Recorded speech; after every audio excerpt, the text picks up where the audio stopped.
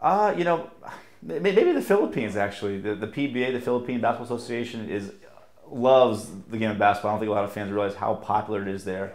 So maybe there, you know, I think uh, again, it, there's a lot of things that have to go into that: coaching, the infrastructure, recruiting.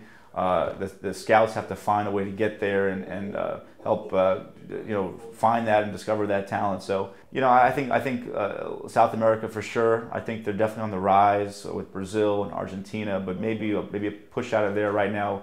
A lot of dominance with baseball and, and soccer, but uh, potentially maybe South America could see also a rise too. I think with basketball.